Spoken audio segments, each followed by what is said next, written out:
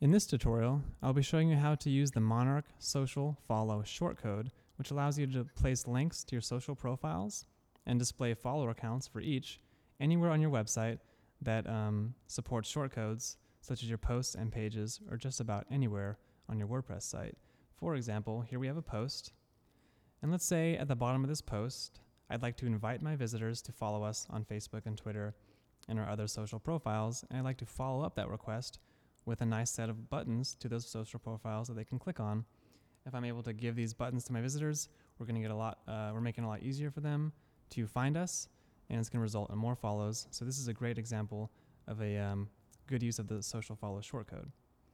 So first thing you're going to want to do is log into your WordPress dashboard, and then go to the Tools Monarch settings to bring up all the um, settings for the Monarch plugin. Since we're dealing with social follow and not social sharing, we're going to click on the social follow tab to reveal the various social follow settings, such as the shortcode settings, the widget settings, and first off, the network settings, which will determine which networks are displayed within any area of your site that uses the social follow system, such as the social follow shortcode.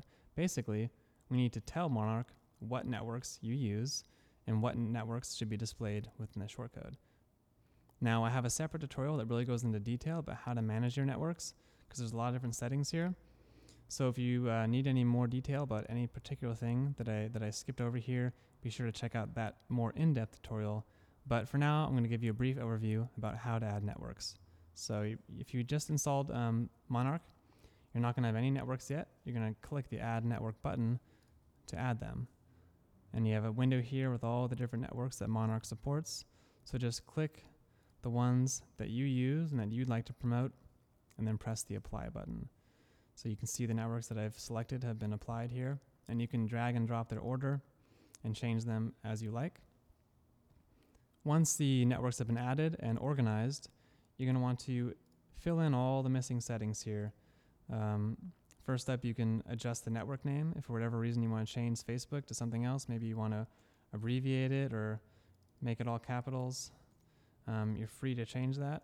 we give you that option. Next up is the URL to your social profile itself. So you want to whenever this is the, the the URL, the link that the visitor will be taken to when they click the Facebook social button. And so in our case, our uh, the link to our Facebook profile is facebook.com slash elegant themes, but in your case, it'll be something different. You'll have a different URL, a different business name. So you want to enter that here. The next up is your is your business name, and we use this to automatically get the share counts, or sorry, the follow accounts from your social profile. So in our case, our business name is Elegant Themes. This is the, the name of our page. In your case, it'll be something different. In fact, for Facebook, it might not actually be a name, it might be a number because Facebook doesn't allow you to claim a, fa- a page name until you have a certain amount of counts, uh, a certain amount of follows. So you might actually have a number instead of a name, and you can tell by looking at your Facebook uh, profile URL. So just go to your Facebook uh, business profile, take a look at the URL in your browser, and if it says something like facebook.com slash elegant themes slash one, two, three, four, five, six, a bunch of numbers, in that case, you Facebook hasn't granted you a true page name yet, and so you're going to want to copy and paste those numbers and place them here instead. So that might apply to you. It might not. Just take a look at your profile URL. So Twitter, do the same thing. The link to our Twitter profile is twitter.com slash elegant themes. And then you can keep filling in uh, the profile for each.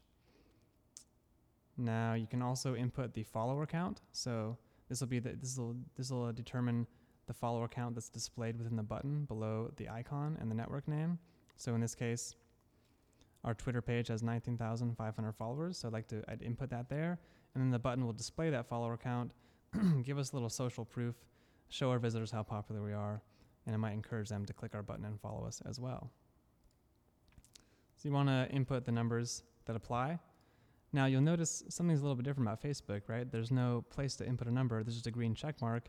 That's telling you all done, no reason to input a number here. We got it taken care of because Monarch can automatically contact Facebook and grab that account um, automatically.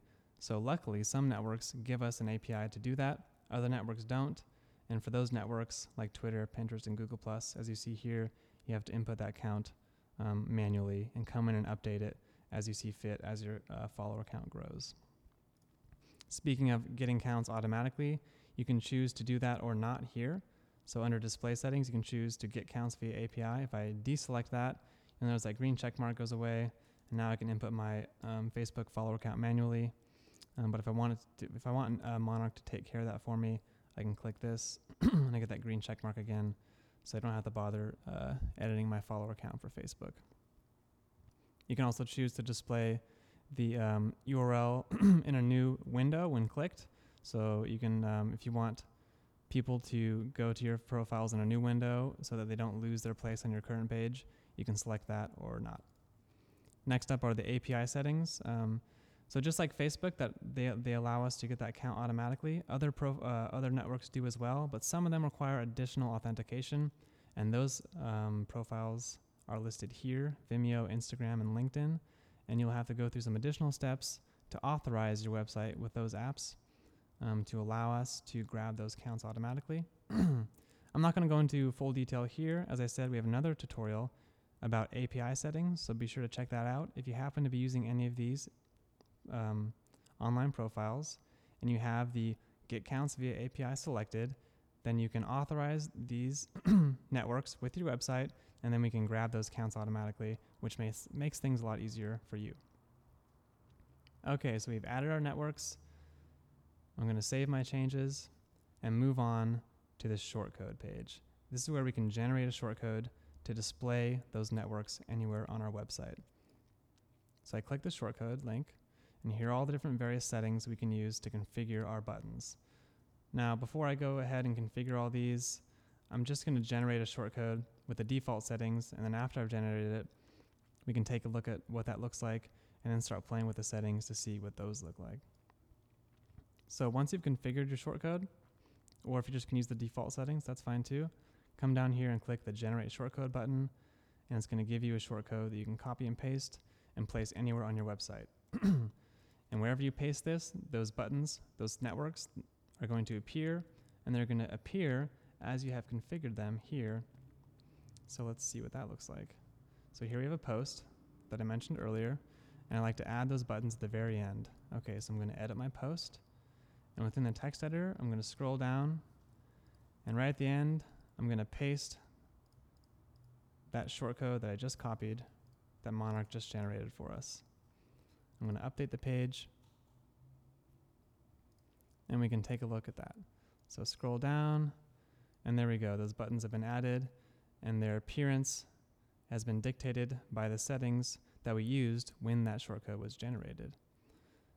Now if we go back to our shortcode page and we adjust these settings and generate a new shortcode, then we can display those networks with those new settings and it won't affect the other shortcode, which means you can generate new shortcodes with different settings and have networks um, displayed differently on different parts of your website with unique shortcodes, which gives you a lot of freedom. It's nice.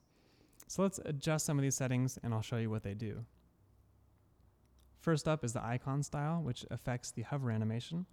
So as you hover over here, there's different styles, and you can preview them right in the dashboard and find one that you like best and click it. And that'll enable that hover animation. Next up is the icon shape. So we have three choices, which is rectangle, rounded rectangle, and circle. Right now I have the rounded rectangle enabled, but I could change that to circle. And if we generated a new shortcode based on those settings and add it to the post, I'm going to add it right below the other one so you can get a look at the difference.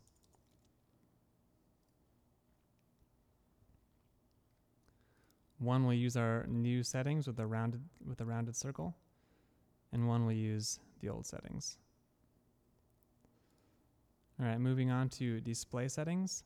The icon placement, you can either choose to have the icon at the top or at the left, and you can also adjust the columns. So let's put the icon on the left and choose to have only two columns, and we'll see what that looks like. So I'm going to generate a new shortcode and paste that in the page. Going to get rid of our old ones, so we should have the new shortcode. Refresh. So here we go. I have changed it to use two columns, and the icon is now on the left instead of being on top of the network name.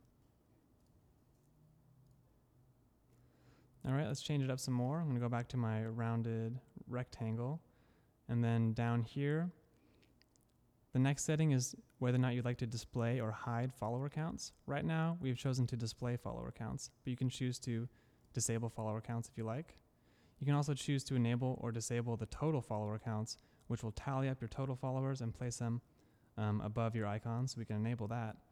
And let's generate a new shortcode and check out what those settings have given us. I'm going to paste that shortcode here right into our post. Update, refresh. Okay, so I've disabled the follower counts on the individual buttons. I've enabled the total follower count. You can see here. I've changed it back to our rounded rectangles, and I'm using two columns. So that's the result.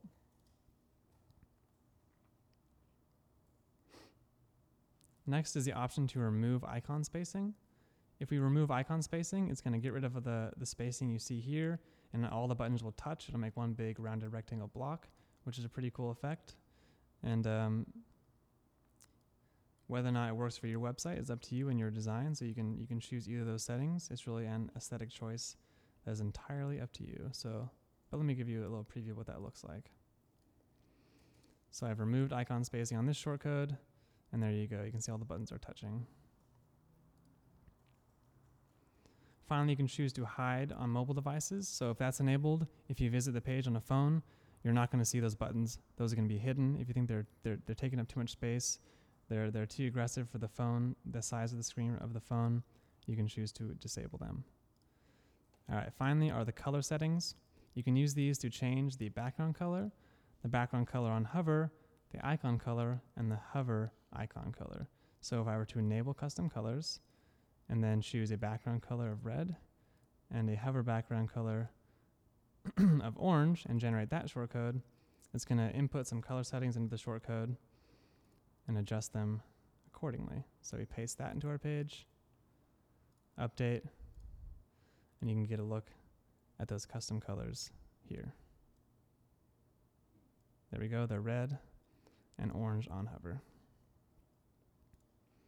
All right, that's a basic overview of the follower shortcode. Again, that shortcode can be placed anywhere. It can be placed in a page or in a post. And so, yeah, go ahead and use that anywhere on your site. It's a great way to get more followers.